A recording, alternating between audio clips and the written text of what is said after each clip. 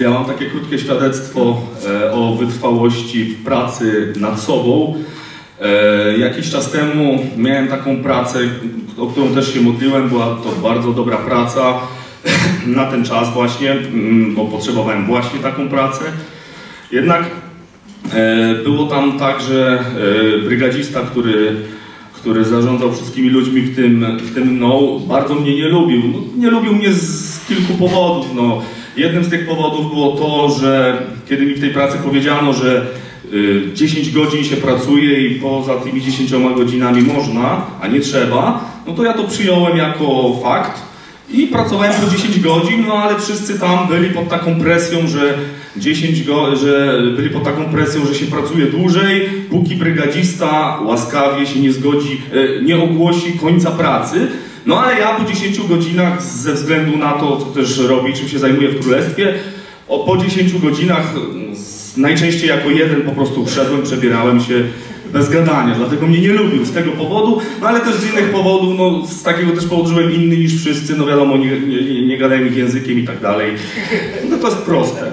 No i on cały czas za mną łaził, gdzie ja się nie pojawiłem, tam był on, E, No i miał takie głupawe odzywki do mnie, próbował mnie na czymkolwiek złapać i był wobec mnie no, szczególnie wyostrzony miał wzrok, nie?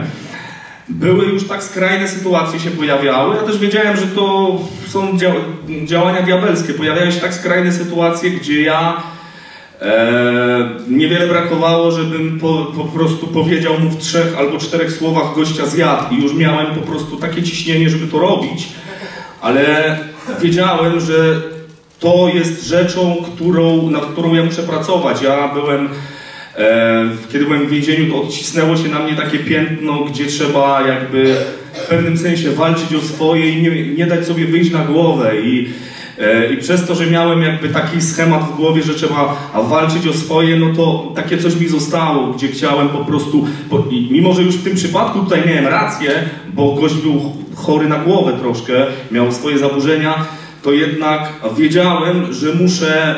To był mój przełom. Ja wiedziałem, że ja wtedy mam się po prostu nie odzywać i nauczyć się w tej sytuacji opanować swój język i gościowi nie wywalić, mimo iż miałem rację. I w tym przypadku to był mój przełom, bo bo też jest tak, że człowiek, który nie potrafi y, zawalczyć o swoje albo odezwać się wtedy, kiedy trzeba, to dla tego innego człowieka przełomem byłoby to, że powinien się w tej sytuacji odezwać. Dla mnie, było, dla mnie praca nade mną polegała na tym, że ja się nie odzywałem i do samego końca po prostu powściągnąłem swój język w tym temacie.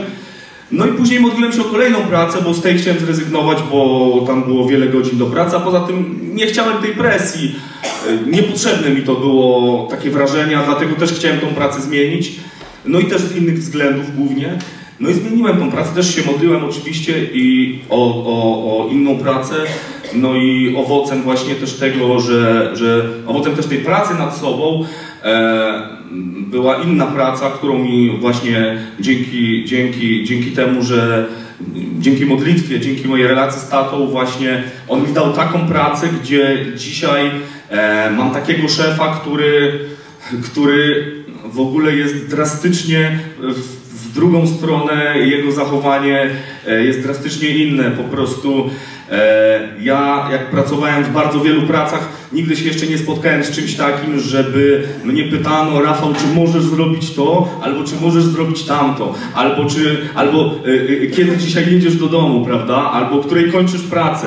Dlatego takie jest błogosławieństwo, kiedy człowiek pracuje nad swoją duszą, kiedy, kiedy po prostu w momentach, kiedy trzeba, trzeba wziąć swój przełom, no to ja właśnie wziąłem swój przełom i taki był też tego owoc. Amen.